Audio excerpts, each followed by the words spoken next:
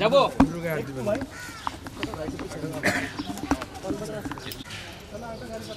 আর রিয়াজ ভাই, উনি দুইবার জাতীয় চলচ্চিত্র পুরস্কার পেয়ে তখন একটা সিস্টেম ছিল যে আমরা পরিচালক আমাদেরকে ইনভাইট করতেন গানের স্টুডিওতে আমরা যেতাম।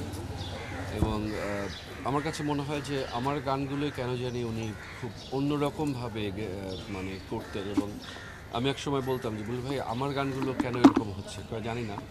তোমার গানগুলো কেন জানি, এবং উনি যে গায়ক বা যাদেরকে উনি বলতেন যে রিয়াজের মতো করে গলাটা তৈরি করো বা ওইভাবেই উনি সৃষ্টি করতেন।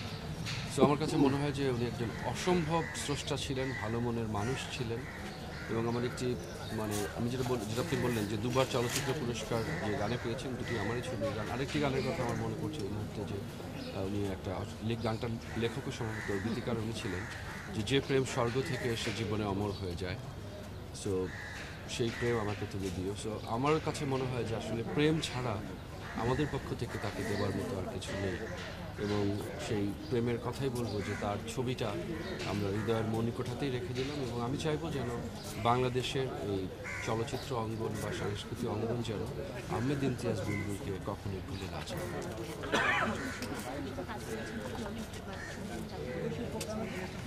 বুলবুল ভাই যেটা গান লিখতেন বা তার গানের মধ্যে এক ধরনের স্পিরিচুয়ালিটি ছিল, আধ্যাত্মবাদ ছিল এবং উনি উনি দেশ, দেশপ্রেম ছিল গানের মধ্যে, মাটির প্রতি ভালোবাসা ছিল এবং সাধারণ মানুষের কথা খুব সহজ, সরল, সুন্দরভাবে উনি বলতে পারতেন এবং যেটার মধ্যে এক ধরনের প্রাণ সঞ্চার যে গানগুলো আমি বর্তমানে, আমি জানি না, দুঃখের সাথে আমি হয়তো অনেক গানের মাঝে সেগুলো খুঁজে পাই। আমি খুঁজে পাই প্রথমত বলব যে আসলে সংগীত আহমেদ ইমতিয়াজ বুলবুল আপনার সংগীত জগতের একটা অসাধারণ নক্ষত্র। এবং আপনারা সবাই জানেন যে বাংলা গানে যে ওনার যে অবদান এটা উনি নেই আমাদের মাঝে কিন্তু ওনার এই বাংলা গানের মাধ্যমে উনি চিরদিন যুগ যুগ বেঁচে সুমন থাকবে বাংলা গানের ইতিহাসে। আর বুলুল ভাইয়ের সাথে আমার অনেক কাজ হয়েছে আমার। কাজগুলো হয়েছে। কখনো স্টুডিওতে আমারও কাজ ছিল ওনারও কাজ ছিল। ভাইয়ের একটি ছবিতে আমি গান করেছিলাম। সেই ছবিটি আমি সামিনা চৌধুরী প্রায় পনেরো বছর আগে একটি গান করেছিলাম।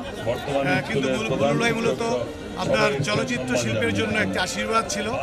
এবং দেশাত্মবোধক গানে বুলুল ভাই একাই আমার কাছে মনে হয়েছে যে অনেকজন সংগীত পরিচালকের আহ, মুখ্য সংগীত পরিচালকের পরিচয় হিসেবে মুখ্য ভূমিকা রেখেছে আমার কাছে মনে হয় যে বুলুর যে সৃষ্টিগুলো এই বুলুর ভাই সৃষ্টিগুলোর মাঝে উনি আজীবন বাঙালিদের মনে বেঁচে থাকবেন।